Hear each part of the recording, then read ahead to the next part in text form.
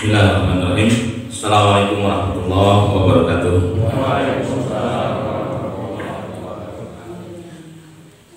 Innalhamdulillah nahmaduhu wa nasta'inuhu wa nastaghfiruh wa natubu ilaih wa na'udzu billahi min shururi anfusina wa sayyiati a'malina may yahdihillahu fala mudilla lahu wa may yudlil fala hadiya lahu. Asyhadu an la ilaha illallah wahdahu la syarika lah wa asyhadu anna Muhammadan abduhu wa rasuluhu alladzi la nabiyya ba'dahu. Wa ba'du Qala Allah Ta'ala fil Qur'anil Karim A'udzu billahi minasyaitonir rajim Utlu ma uhiya ilaika minal kitab wa aqimis sholata inna sholata tanha 'anil fahsya'i wal munkar wa la zikrullahi akbar. Wa aidan qala Rasulullah sallallahu alaihi wasallam awwalu ma yuhasabu bil abdu yaumal qiyamah as-shalah fa in salahat salahat sa'i amalin wa in fasadat fasadat sa'i amalin. Alhamdulillah Bapak-bapak dan ibu-ibu jamaah salat subuh Masjid Uswatun Hasanah. Sesuai dengan nama masjidnya jangan sampai kita memberikan nama masjid tapi tidak menjadi uswah hasanah. Ketika kita sudah memberikan nama uswatun hasanah maka kita harus menjadi uswatun hasanah di mana pun dan kapan pun kita berada. Insya Allah pada pagi hari ini saat ini kita sudah masuk di pertengahan bahkan lebih satu hari di bulan Rajab. Tepatnya tanggal 16. tanggal 16 Rajab. Kita tahu di bulan Rajab ini Allah mengingatkan kepada kita tentang satu amalan yang menjadi dari indikator satu amalan yang menjadi tolak ukur terhadap amal-amal kita yang lain. Artinya, amal-amal kita yang lain itu ditentukannya melalui satu amalan ini, yaitu sholat. Coba kita periksa seluruh perintah-perintah Allah itu biasanya melalui malaikat Jibril. Allah perintahkan malaikat Jibril sampaikan kepada kekasihku Muhammad zakat, saum, haji, dan perintah-perintah yang lain. Tapi ketika perintah sholat, Allah tidak mau menitipkan melalui malaikat. Tapi Allah ingin bertemu langsung kepada Rasulullah SAW. Ini satu amalan yang istimewa.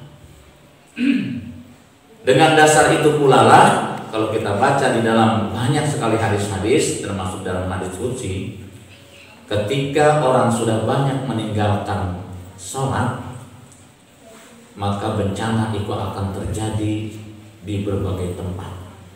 Silih berganti dari satu tempat ke tempat yang lain. Pertanyaannya meninggalkan sholat yang dimaksud itu apakah memang betul-betul dia tinggalkan sholat ada satu hadis yang dikemukakan oleh Rasulullah SAW kamin qaimin laisa lahu min qiyamihi ila syahar Betapa banyaknya umatku yang menjalankan sholat yang mereka dapatkan tidak lebih hanya sekedar capeknya saja. Nah ini barangkali. Jadi bulan Rajab ini adalah bulan di mana kita perlu mereview kembali, melihat kembali sholat yang selama ini kita lakukan. Kalau di dalam surat Al-Ankabut ayat 45 yang Allah perintahkan itu menggunakan kalimat aqim aqimis sholat atau iqamas sholat tapi pada prakteknya justru kebanyakan yang menjalan apa yang melaksanakan ibadah sholat itu menggunakan kata af'alis sholat bukan aqim sholat tapi af'alis sholat bedanya di mana kalau aqim sholat itu menegakkan sholat kalau afali sholat itu mengerjakan sholat. Saya ambil sebuah ilustrasi yang sederhana saja misalnya. Seorang arsitektur ingin membangun sebuah gedung, entah berapa lantai bangunan yang dia akan bangun, maka dihitung betul tuh. Kan dia hitung betul. Kemudian ada sekian banyak pekerja bangunan. Sama ingin membangun sebuah bangunan. Kalau pekerja bangunan itu dia tidak pernah menghitung harus bagaimana pondasinya, tiangnya dan seterusnya dan seterusnya tidak pernah menghitung itu. Yang penting saya mengerjakan bangunan sampai selesai. Adapun bangunan setelah dibangun beberapa tahun kemudian dia runtuh, itu bukan urusan saya. Berbeda dengan arsitektur, dihitung betul bangunan, jangan sampai bangunan baru dibangun satu dua tahun runtuh atau terjadi kerusakan. Dan itulah makna akhir sholat dengan af'al sholat. Makanya kita review. Selama ini kita melaksanakan sholat itu pada posisi akimis sholat atau ahli sholat nah itu. Dalam surat Al-Kabut itu sholat itu jelas targetnya. Iqamah sholat kata Allah Subhanahu Wa Taala tegakkan olehmu sholat. Fil amar kalimat perintah dari Allah Subhanahu Wa Taala Inna salata menggunakan kata taukid Sesungguhnya ibadah salat yang aku perintahkan kepadamu Tanha anil faksa wal munkar. Kalimat berikutnya itu menggunakan fi'il mudhari Artinya ketika kita sudah tegakkan sholat itu Sepanjang kehidupan kita kita mampu mencegah segala perbuatan keji dan munkar. Itu. Segala perbuatan keji dan munkar. Perbuatan keji itu apa Pak? Banyak sekali perbuatan keji itu Pak ya. Sampai melakukan pembunuhan itu perbuatan keji. Ngomongin orang itu perbuatan keji. itu ya membicarakan orang, memfitnah apalagi kan gitu. Itu perbuatan keji. Termasuk yang saat ini sedang dirasakan oleh seorang gubernur Sulawesi Selatan itu perbuatan keji. Nah, apa? Korupsi itu ya. Itu perbuatan keji. Kalau lihat dari sisi namanya kan ya. Siapa namanya? Nurdin Abdullah Nurdin itu artinya cahaya agama. Abdullah itu hamba Allah. Luar biasa Pak. Kalau dari sisi nama. Dan banyak sekali orang-orang yang melaksanakan perbuatan keji itu bukan tidak sholat ya Pak, sholat. Ya, boleh jadi termasuk kita yang tanpa kita sadari. Kita sering membicarakan orang lain gitu ya, membicarakan aib orang lain gitu Pak ya kalau membicarakan tentang kebaikan orang lain mah bagus, jadi motivasi buat kita. Kalau membicarakan aib orang lain, justru yang terjadi adalah apa itu? Nyinyir kan biasanya gitu Pak ya. Kita mah nyinyir. Padahal sholat itu targetnya jelas. Selamanya kita tercegah, terhindar dari perbuatan keji dan munkar. Kalau selama ini kita masih melakukan perbuatan-perbuatan keji dan munkar, nggak usah jauh-jauh periksa sholat kita. Harus bagaimana sih sholat sehingga mampu mencegah perbuatan keji yang mungkar? Kata Rasulullah, "Sallu kama ra'aitumuni usolli." Salatlah kalian sebagaimana kalian melihat aku sholat. Begitu kata Rasulullah. Seperti apa Rasulullah sholat? Yang pertama Salat kata Rasulullah ayul akmal. Salat harus dilakukan di awal waktu. Begitu kata Rasulullah. Ayul akmal as-salati fi waktiha. Makanya kita koreksi. Ini di bulan Rajab ini sholat kita. Selama ini kita sholat di awal waktu atau di akhir waktu. kan dua pilihannya. Kalau nggak awal waktu, akhir waktu.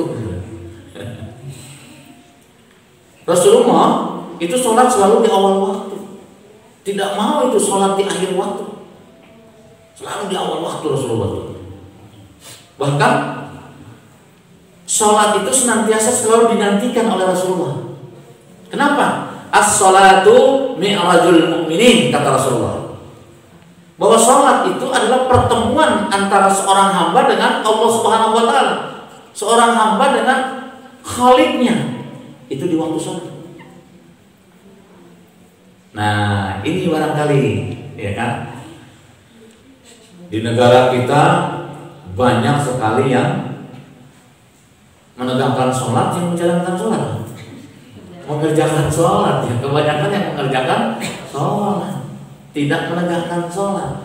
Kalau menegakkan sholat dihitung betul ibadah sholatnya tuh. Jangan sampai sholat yang dilakukan itu seperti yang dikatakan oleh Rasulullah ila sahar. Cuman capeknya saja. Kerja bangunan kan gitu. Wah capek dia bikin bangunan itu. Berdiri. Eh besok runtuh. Itu hanya capek aja gitu Bayangkan sholat yang harusnya mampu mencegah perbuatan keji tadi luntur hanya karena fulus. Dolar gitu ya.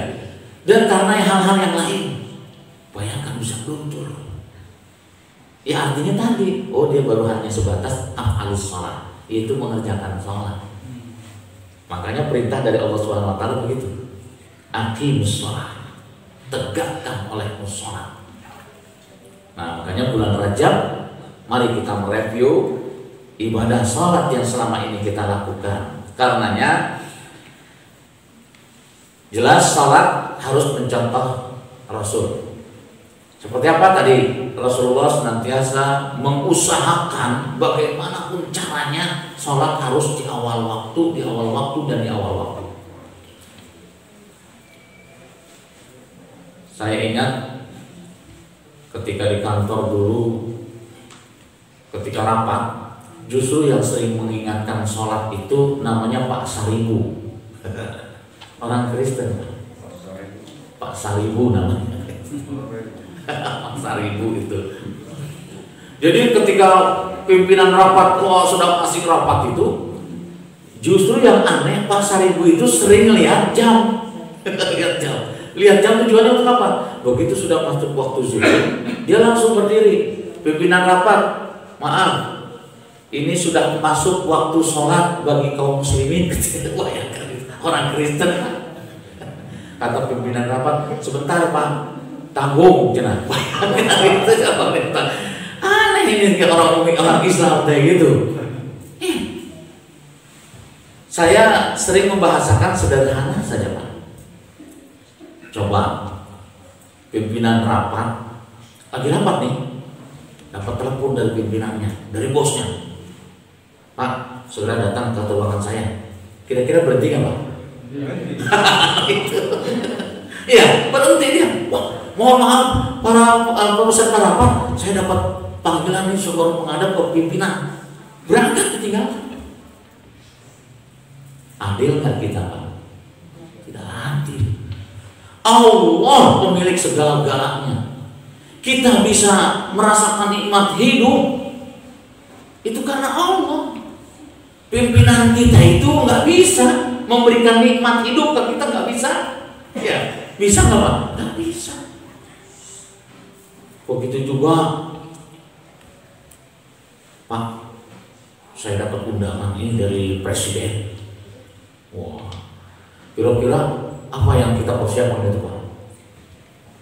Wah, pakaian kita persiapkan ini yang layak untuk ke istana, gitu lah ya, yang layak untuk ke istana, bajunya, apa celananya, sepatunya, wah pokoknya style semuanya itu, ini yang layak untuk pergi ke istana, menghadap presiden. Diperintahkan jam 8 sudah harus ada di lokasi Kira-kira kita persis jam 8 di lokasi atau sebelumnya Pak? itu nggak adil kita Pak. Ya, nggak adil kita. Allah memanggil kita itu Allahu Akbar, Allahu Akbar. Pernyataan Allah itu, Hai sekalian manusia yang beriman kepadaku, Aku maha besar. Kalian semuanya itu kecil. Apa? Hayya segeralah kalian menghadap kepada aku. Kira-kira sikap kita gimana Pak? Ada yang asik di komputer, ada yang asik di depan televisi, asik, oh bermacam-macam keasikan menikmati asiknya. Dia nggak sadar, dia bisa merasakan asiknya melakukan sesuatu itu karena nggak sadar. Bukan karena presiden. Presiden bisa nggak ngasih asik kita? Nggak bisa pak. Gak bisa presiden ngasih asik kita itu gak bisa.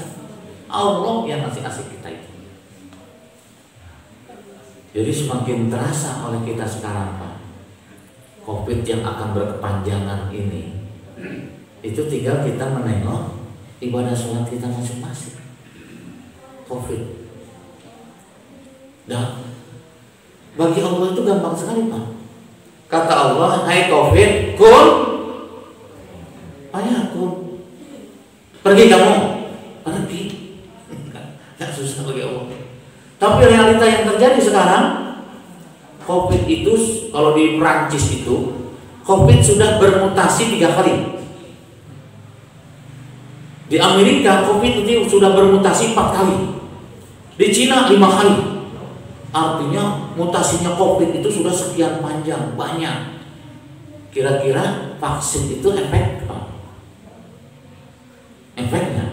Vaksin yang dibuat itu adalah vaksin yang pertama, kedua, ketiga, yang kelima. itu di Indonesia belum ada penelitian itu ya. Luar biasa. Maka oleh karena itulah hadirin jemaah salat subuh Masjid Uswatul Hasanah. Jadi refleksi sholat kita ini kalau tadi Bagaimanapun kita harus berkomitmen sholat harus di awal waktu, awal waktu, awal waktu. Kenapa? Bagaimanapun kenikmatan yang kita rasakan sampai saat dan detik ini itu Allah yang memberikan. Karenanya Allah adalah ghayatuna, sesuatu yang harus kita utamakan. Sholat harus kita utamakan. Kenapa? Karena ternyata sholat itu menjadi daya indikator terhadap amal-amal kita yang lain.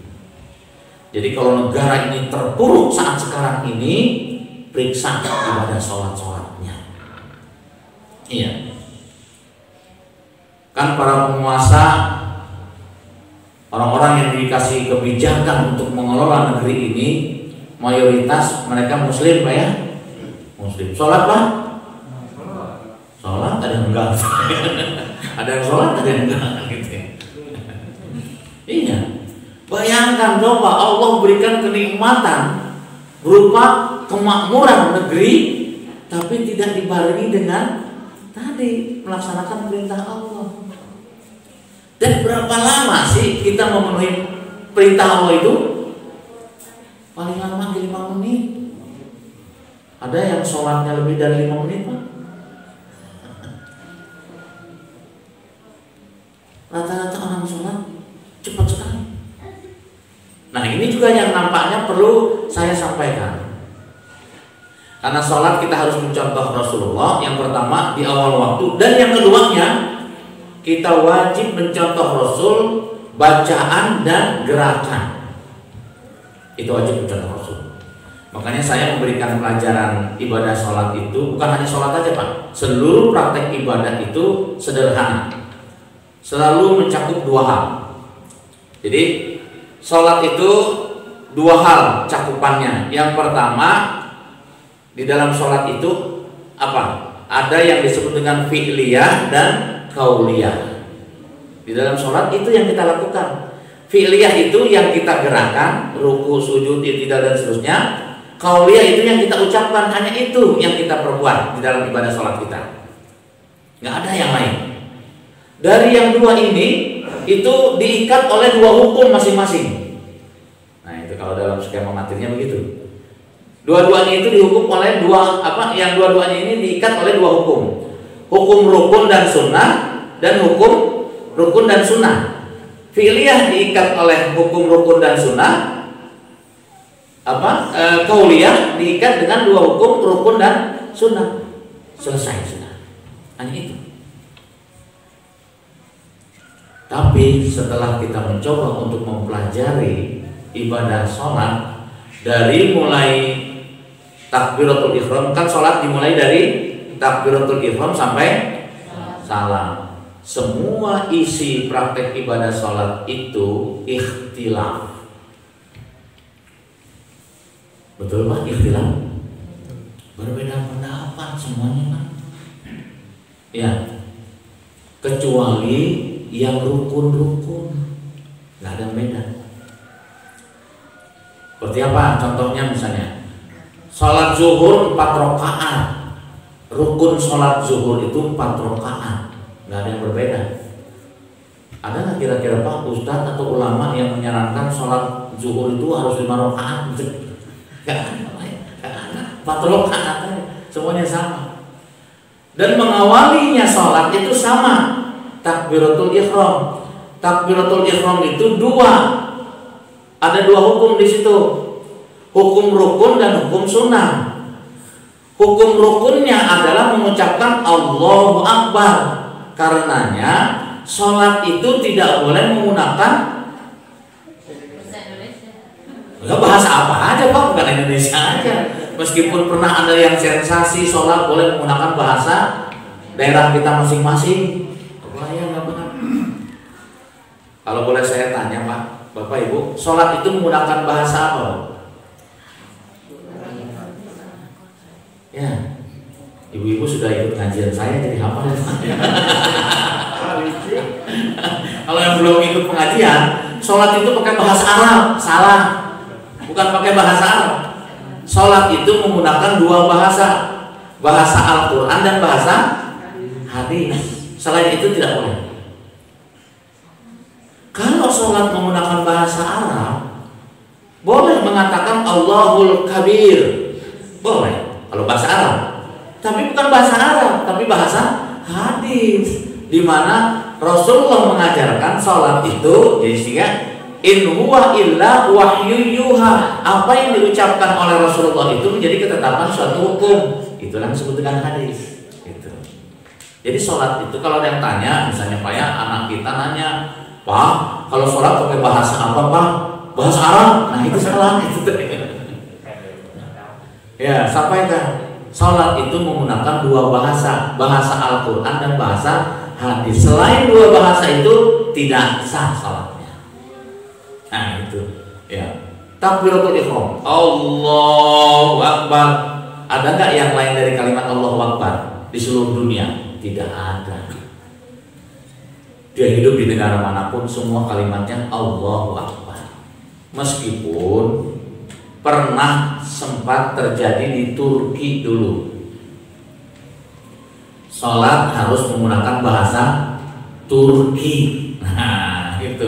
Jadi mungkin orang Indonesia yang apa eh, sensasi sholat boleh menggunakan bahasa kita itu itu teridekan di Turki dulu waktu zaman Mustafa Kemal Atatürk ya.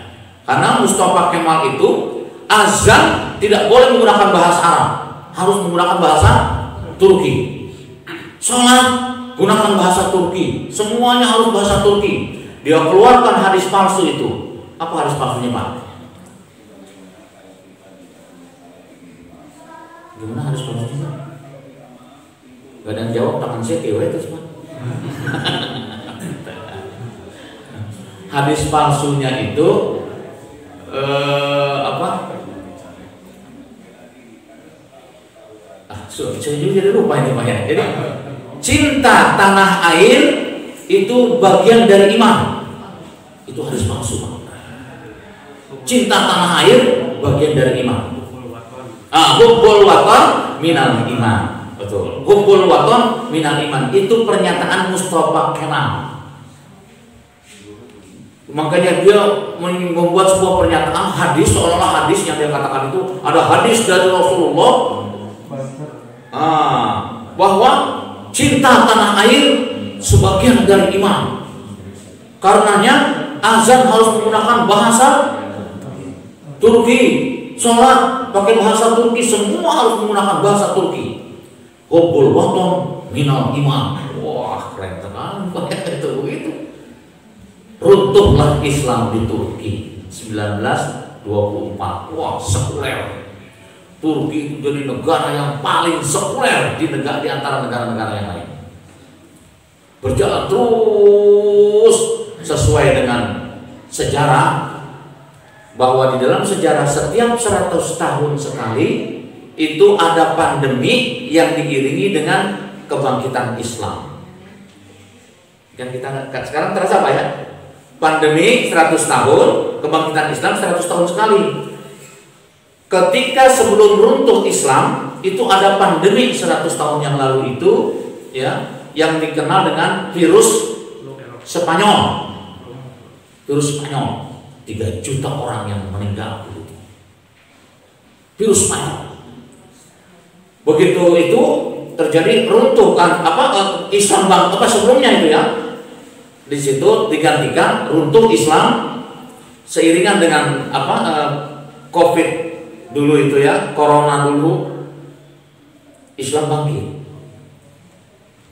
Apa yang terjadi saat sekarang pun sama.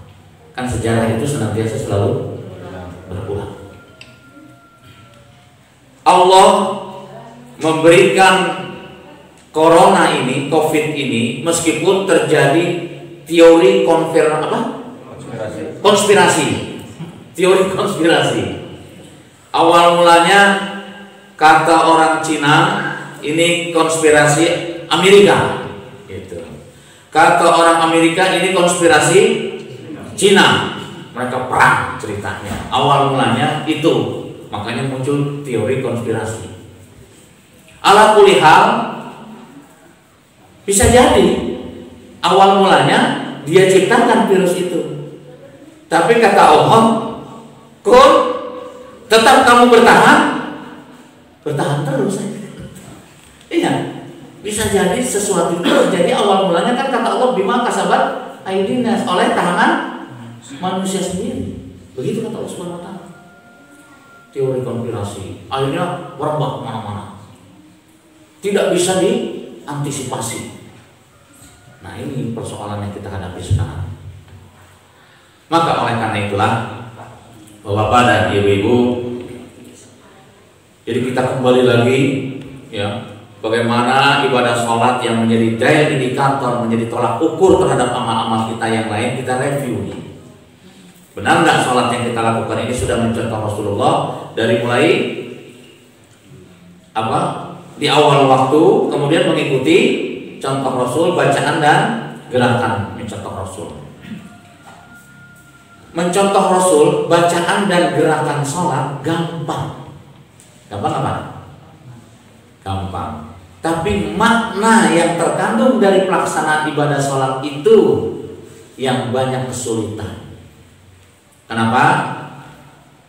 Saya mencoba untuk memberikan sebuah gambaran. Sholat itu terdiri dari tiga bagian besar yang kita kenal dengan istilah qobla, qobla sholat, fi sholat, dan ba'da sholat. Atau dalam konteks yang lain apa? Al janibul takbiri, al janibul zikri dan al janibul salami. Bahwa sholat terdiri dari tiga bagian besar. Kerangka sholat itu tiga. Yang pertama adalah al janibu takbiri. Kerangka yang pertama adalah takbiratul ihram. Makanya itu yang menjadi patokan awal ibadah sholat kita.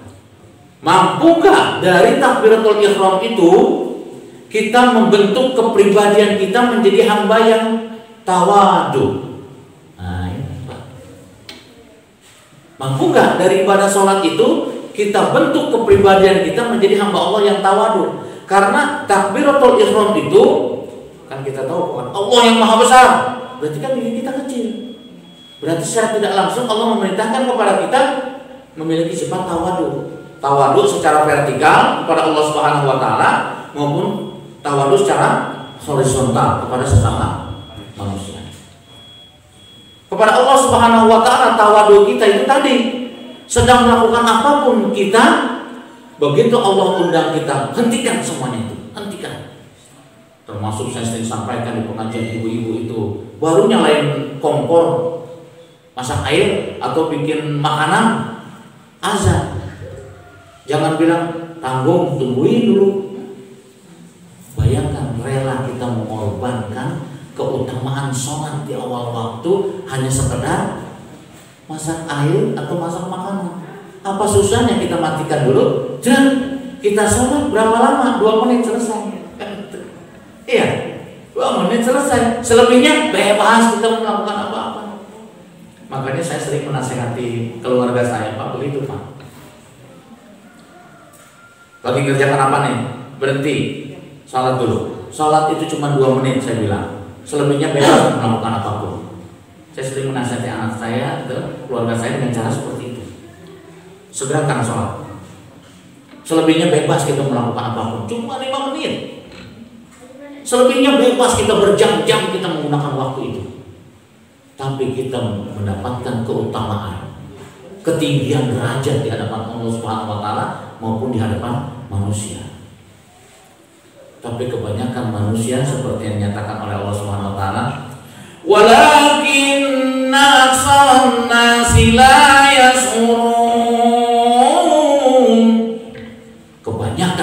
manusia mereka tidak menyadari tentang hal ini dan kebanyakan manusia kata Allah taala mereka tidak tahu diri.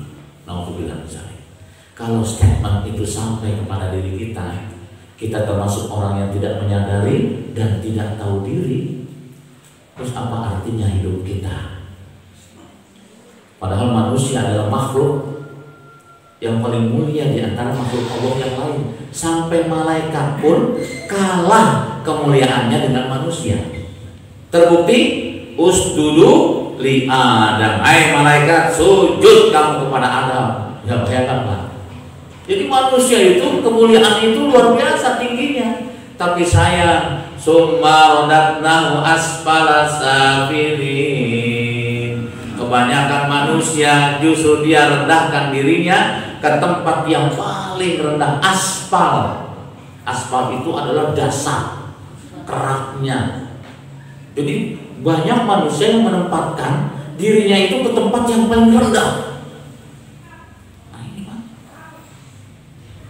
luar biasa Pak implementasi ibadah sholat ini makanya ketika kita ingin mengembalikan keterpurukan baik keterpurukan diri kita keterpurukan di keluarga kita keterpurukan di tengah-tengah masyarakat kita maka kita lihat bagaimana keberadaan ibadah sholat kita yang kedua kita mencontoh ibadah Rasul yang saya ingin tekankan di sini tadi bilang ucapan gerakan mudah Hadis-hadis sahih itu banyak sekarang. Tinggal kita maunya aja. Hadis sahih tentang bacaan surat Al-Fatihah misalnya. Banyak sekali. Hanya persoalannya tadi Pak. Poin yang poin yang ketiga. Kita sering mengatakan sholat khusyuk itu susah. Akhirnya kita dibuat susah di dalam melaksanakan sholat khusyuk. Karena kita sendiri sudah mau apa namanya memformat diri kita khusyuk susah. Imam Al Ghazali di dalam kitabnya Ihya Ulumuddin itu menginterpretasikan khusyuk itu dalam tiga tahapan. Tahapan yang paling dasar itu adalah khusyukul awam, khusyuk pada umumnya. Nah, seperti apa khusyuk pada umumnya? kita sudah masuk level khusyuk pada umumnya atau belum nih? Nah, itu Pak ya. Seperti apa? Bahwa kita sadar kita sedang sholat. Selama ini kalau kita sholat, sadar kita sedang sholat nggak Pak? Kadang-kadang sadar, kadang-kadang iya, ya. kadang-kadang sadar, kadang-kadang tidak, ya kan? Jangankan di perjalanan sholat, mengawali sholat saja kadang-kadang nggak sadar kita lagi takbir itu sampai baru ingat tadi takbir nggak saya ya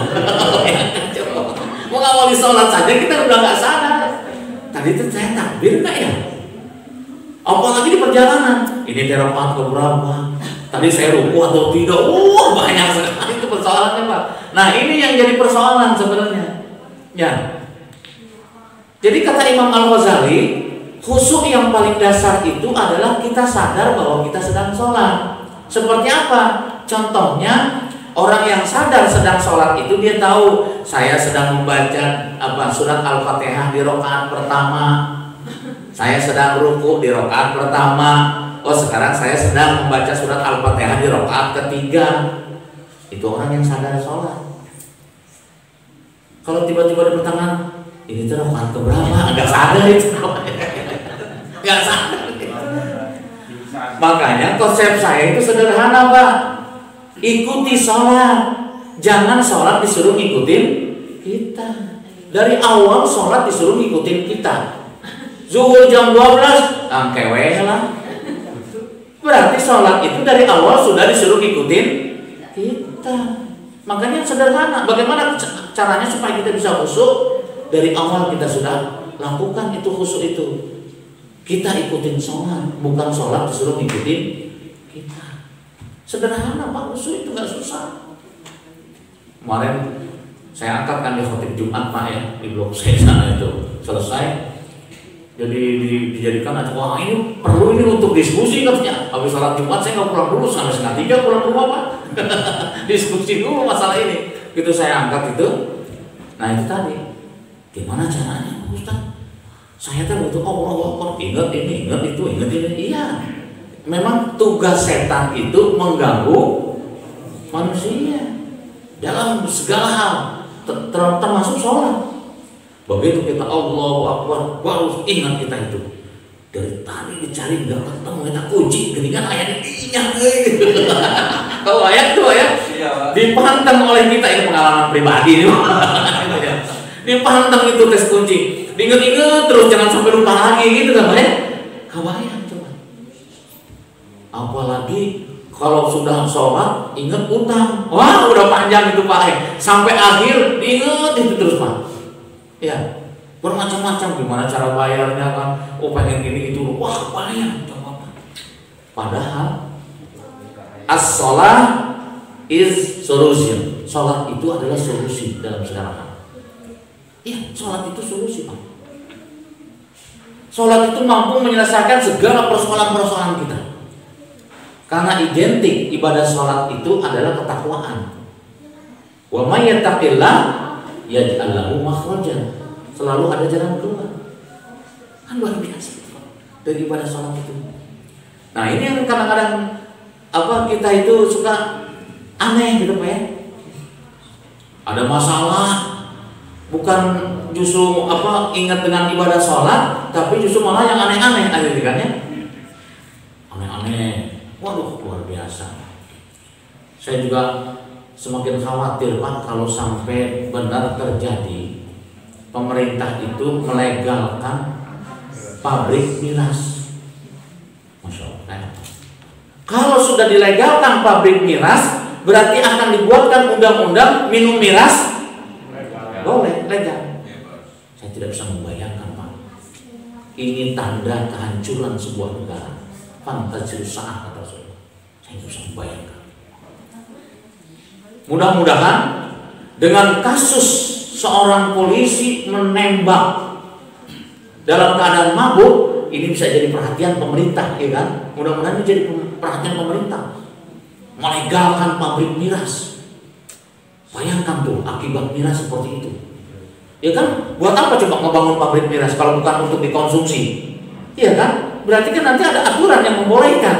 Meskipun aturannya boleh jadi apa dibuat aturan karet kan gitu ya. Boleh minum kalau alkoholnya sekian sekian sekian sekian kan gitu ya. Nggak boleh cuma buena akan seperti itu. Alasannya untuk apa? Devisa persis saya ingat kayak dulu itu apa ada SDSB hmm, apa nalo apa itu dulu ya apa judi begitunya kan gitu ya dilegalkan. Harapannya apa? Dan bisa masuk ya kan dari judi ya kan gitu. Dari minuman keras. Harapan begitu. Yang ada justru kehancuran. Bayangkan saya khawatir justru di balik ini itu ada rencana merusak. Ya kan? Merusak generasi. Saya khawatir itu merusak generasi sekarang orang sudah tidak bisa bisa bisa lagi teriak-teriak. Kenapa? Sudah ada undang-undang yang teriak-teriak. gitu ya. Gak boleh sembarangan teriak kan gitu ya. Kalau teriak seperti tukang dagang bacang, mau bocong, bocong, nggak apa-apa itu, nggak masalah itu. Ketika teriak-teriak masalah urusan uh, pemerintahan, sudah dibuatkan undang-undang ITE-nya kan gitu. Apa presiden mancing? Silahkan kritik pemerintah, kayak gitu pak ya, mancing itu pak, subhanallah itu luar biasa. Nah, jadi kembali lagi, sholat pak luar biasa itu pengaruh dalam kehidupan kita. Jadi kalau kita mampu tadi ya khusyuk, makanya ada tanya, gimana caranya sih? Iya tadi, pokoknya seperti kita mengendarai kendaraan. Kan kendaraan itu ketika apa ada belokan, ya belok, jangan dibiarin lurus nabrak, kan gitu pak ya. Begitu juga kita sholat khusyuk, begitu muncul nih teng kunci ketemu. Tidak saya lagi sholat. Kan begitu ya? Muncul lagi teng buka utang. Enggak saya lagi sholat. Terus kita latih sampai akhirnya kita terlatih bisa mengendalikan, mengendalikan kendaraan itu dengan tenang. Nggak tegang orang belajar kendaraan itu baru-baru dengan pak tegang sekali pak ya. Wah dulu dulu waktu diplototin gitu ya. Sampai kopling juga dilihat dulu gitu. Wah itu tegang gitu. Awal mulanya memang begitu kita tegang itu. Muncul setan itu mempengaruhi ya gigi kita itu macam-macam ini. Tidak saya lagi sholat saya lagi sholat. Terus saja yang kita ingat adalah gerakan sholat kita bacaan sholat kita terus yang kita ingat. Sampai pada akhirnya apa? Kita sudah terbiasa dengan sholat usul awal. Biasa itu. Minimal target kita itu aja dulu sebelum kita tingkatkan ke khusyul khawas. Khusyuk orang yang khusus. Seperti apa? Orang yang khusus itu pak ketika sholat begitu dia membaca ayat-ayat yang mengancam dia nangis Rasulullah Shallallahu Alaihi Wasallam membaca ihdinas siratal mustaqim nangis pak ihdinas siratal mustaqim nangis Kenapa Rasulullah nangis? Kan di situ yang ditangis bukan dirinya Pak, Rasulullah bukan dirinya. Karena Rasulullah itu sudah dimaksud, sudah dijaga, dipelihara dari perbuatan dosa, perbuatan maksiat apalagi. Itu dan tapi yang ditangisnya adalah umatnya. Saya khawatir wahai Allah, umatku itu minta diberikan petunjuk darimu ihdinas siratal mustaqim. Ya Allah tunjuki aku ke jalan yang lurus. Tapi pada prakteknya jalannya itu belok sana belok sini tabrak sana tabrak sini. Itu dikhawatirkan oleh Rasulullah. Rasulullah nangis. Setiap membaca ihdinas siratal mustaqim diulang-ulang. Nangis Rasulullah jadi orang yang sudah level khusul khawas itu setiap ayat bertemu dengan ayat itu bisa nangis. Nangis. Termasuk di dalamnya ketika kita membaca surat Al-Imran misalnya. Mayyaksal lazina taraku min apa apa uh, min zuhurim hendaklah kalian takut kepada Allah Subhanahu wa taala apabila meninggalkan generasi yang lemah nah bisa nangis Pak kita lihat diri kita, keluarga kita. Apakah kita termasuk ini di dalam yang dikatakan oleh Allah Subhanahu wa taala, kita meninggalkan generasi yang lemah.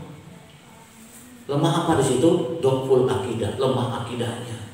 Kita biarkan anak kita itu tidak memiliki akidah.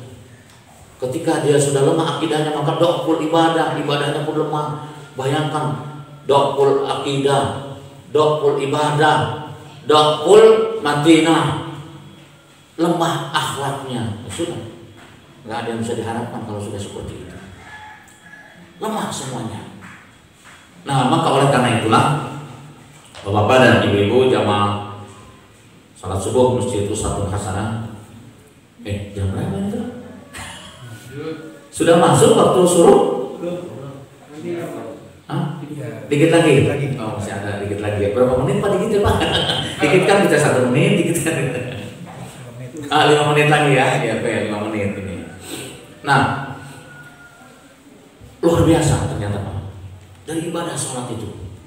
Nah yang saya ingin tekankan sekali lagi kita sering kali tadi sholat karena sering ditunda-tunda akhirnya tergesa-gesa. Makanya kan sholat yang bagus itu di awal waktu apa mengikuti apa? Rasulullah ya di awal waktu kemudian khusus dalam sholatnya dan yang ketiga adalah tomak nina yaitu tenang tidak gurung rusuh tidak tergesa-gesa. Kita kadang-kadang sholat itu tergesa-gesa sehingga bacaan surat al-fatihah saja itu nggak jelas. Nggak jelasnya dari sisi mana? Dari sisi ilmu tajwid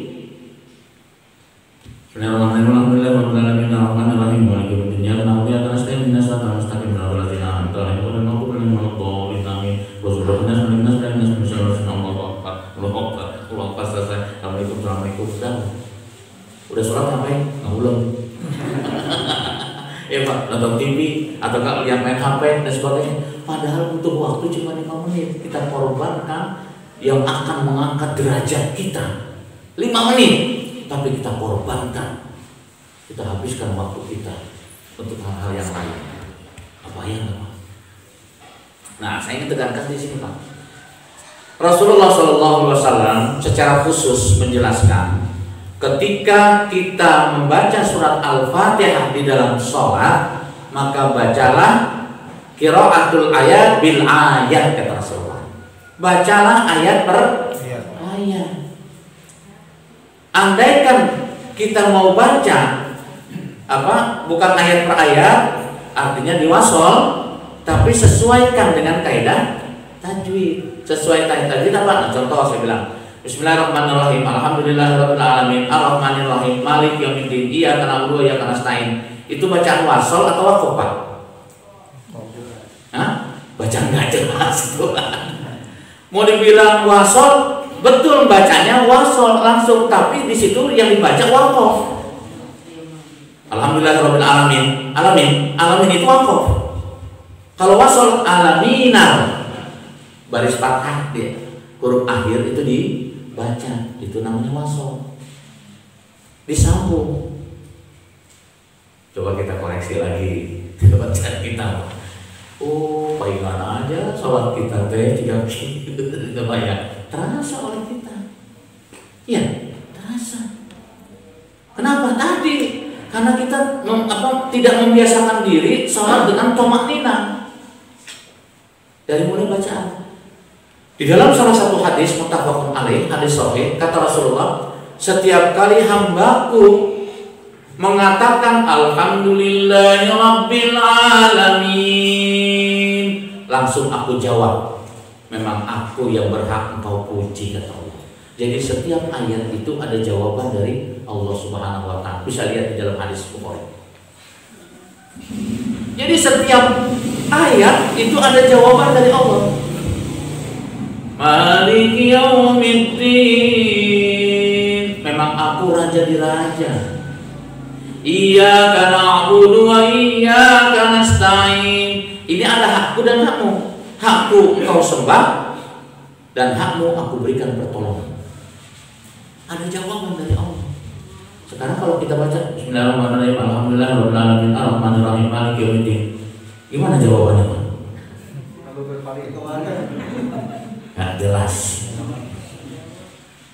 Itu yang jadi alasan. Kenapa Rasulullah membaca ayat bil ayat? Ayat demi ayat makanya pentingnya kita sholat di awal waktu gitu mah biar kita bisa sholat tenang kalau sholat sudah kelewat rusuh weh apa ya kalau ibu-ibu biar bareng sholat sambil ngerjain ambil masak air bareng nanti sholat selesai air matang mending air udah matang sholat belum selesai alhamdulillah ngomong dengan komite itu udah ulang air kan itu udah ngaco itu berantakan itu. Sholat apa ya. Masya allah. Nah hal-hal seperti ini makanya saya paling apa namanya eh, nggak eh, mau itu membahas sholat itu dari sisi bacaan. Wah bacaannya nggak sesuai dengan Rasul. Gerakannya nggak sesuai dengan Rasul.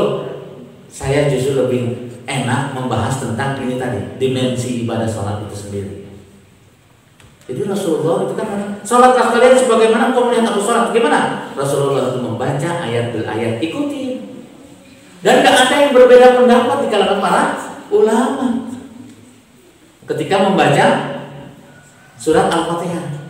Ya. Ada yang berbeda pendapat di kalangan para ulama itu adalah Al-Fatihah itu ada yang dijaharkan Bismillahirrahmanirrahim, ada yang disirkan. Kenapa? Karena menurut Imam Waros bahwa surat Al-Fatihah itu terda, apa, terdiri dari tujuh ayat sama tujuh ayatnya, tapi ayat yang pertamanya yang berbeda. Imam Waros menyebutkan ayat pertama adalah Alhamdulillahirabbil alamin. Itu Imam Waros. Sehingga Al-Fatihahnya itu disirkan oleh Nabi Alhamdulillahirabbil alamin. Itu sama tujuh ayat. Loh, kan kalau tujuh ayat itu ayat ketujuhnya gimana? Siratal ladzina an'amta alaihim. Itu ayat ke-6 ghairil maghdubi alaihim waladdallin. Itu ayat ketujuhnya. Gitu. Jadi kalau ulama yang lain itu langsung ya siratal ladzina an'amta alaihim ghairil alaihim waladdallin. Itu ayat 7 itu perbedaannya di situ di kalangan para ulama. Nah makanya Bagaimana kita bisa sholat tenang, nyaman, mencontoh Rasulullah Biasakan kita sholat di awal waktu. Buat komitmen bahwa saya akan terus melaksanakan sholat di awal waktu. Di awal waktu, di awal waktu. Bagaimana caranya. Sehingga ketika masuk, masuk waktu sholat Yang kita ingat adalah tadi Bahwa ini bagianku untuk menghadap Allah pemilik segala-galanya. Oh, bangga. kita jadi harusnya begitu ada undangan sholat, bangga dari kita kenapa? Diundang oleh Allah, pemilik segala-galanya. Jangan sampai justru kebanggaan kita kepada hal-hal yang kecil. Dapat undangan dari bupati, dari gubernur, ya kan? Dari menteri, dari presiden, itu kecil semuanya Pak. Mereka itu tidak bisa memberikan kenikmatan kepada kita, nggak bisa sama sekali. Yang memberikan kenikmatan itu hanya Allah. Nah itu yang harus selalu kita ingat. Makanya segerakanlah perintah Allah Subhanahu wa taala. Insya Allah kenikmatan itu karena kata Allah gimana Pak? La in syakartum la azidannakum menggunakan lam tauhid itu. Aku akan tambah tambah tambah terus nikmatnya. Dan huruf lam itu diartikan oleh para mufassir itu pasti Allah akan tambah akan tambah akan pasti. Kalau kita mensyukuri nikmat Allah. Wala in kafartum menggunakan lam situ Apabila kalian mengingkarinya, inna azabi sadid, rasakan olehmu azabku yang sangat pedih. Allah mengazab manusia itu bermacam-macam. Ada yang diazab oleh Allah melalui kekuasaan. Ada yang diazab oleh Allah melalui jabatan. Ada yang diazab oleh Allah melalui harta. Ada yang diazab oleh Allah melalui performan. Jadi Allah mengazab manusia itu bermacam-macam. Banyak yang tidak disadari. Seorang direktur Tekmako diazab oleh Allah dengan jabatan dan kehartanya. Apa? Bunuh diri. Itu ya. Nggak tahan kan? Bunuh diri. Bayangkan coba sampai seperti itu.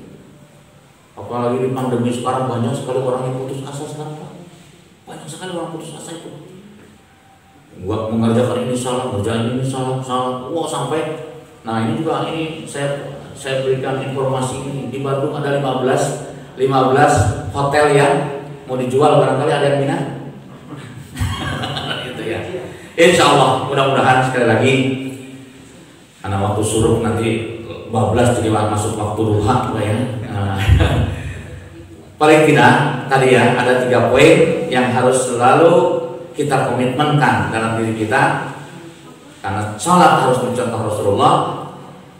Apa di awal waktu khusyuk menjalankannya nah kemudian tomaknina insya Allah Allah akan memberikan kekuatan kemampuan kepada kita untuk melaksanakan atau menegakkan ibadah sholat sesuai dengan yang diinginkan oleh Allah Subhanahu Wa Taala dengan segala kerendahan hati marilah sama-sama kita mohon kepada Allah Subhanahu Wa Taala kita berdoa Semoga Allah memberikan kamu kekuatan kepada kita untuk memperbaiki segala kekurangan-kekurangan yang ada dalam diri kita. Inna Allah wa malaikatahu yusholluna ala nabi. Ya ayyuhallazina amanu sallu alaihi wa sallimu taslima. Hamdan syakirin, hamdan na'imin, hamdan yuwafi ni'amahu wa yukafi mazidahu ya rabbana lakal hamdu. Wa lakal syukru kama yanbaghi li dzil karim wa sultani. اللهم إنا نسألك رضاك والجنة اللهم إنا نسألك رضاك والجنة اللهم إنا نسألك رضاك والجنة ونعوذ بك من سخطك والنار Ya mujib sa'irin ya rahman ya rahim Kami adalah hamba-hambamu yang pada kesempatan pagi hari ini Di waktu yang mustajabah, di waktu suruh ini memohon kepadamu ya Rabbana Tanamkan di dalam jiwa kami iman yang kokoh Hati yang khusyuk, niat yang ikhlas Dan kesabaran yang tetap untuk mampu melaksanakan semua apa yang kau perintahkan Dan menjauhkan apa yang kau larang dan berilah kekuatan kemampuan kepada kami untuk mencontoh Rasulmu ya Rabbana ya Rahman ya Rahim dalam melaksanakan seluruh ibadah yang kau perintahkan kepada kami. Allahumma innaka ta'lamu anna hasil quluba qad ala mahabbatik wal taqat ala ta'atik وتوحدت على نعمتك وتعهدت على نصرة شريعتك فوسك اللهم رابطتها وأدمدها واهدها سبلها واملها بنورك الذي لا يخبو واشرح صدورها بفيض الإيمان بك وجميل التوكل عليك وإلهام معرفتك ومن على شهادة بسبيلك إنك لمولانا ونعم النصير وصلى الله على اللهم ربنا آتنا في الدنيا حسنة wa fil akhirati hasanatan wa qina adzabannar subhana rabbika rabbil izzati amma yasifun wa salamun alal mursalin walhamdulillahi rabbil alamin. Aku qouli hadza wa astaghfirullah azim li wa lakum wa lakum minkum. Wassalamu alaikum warahmatullahi wabarakatuh.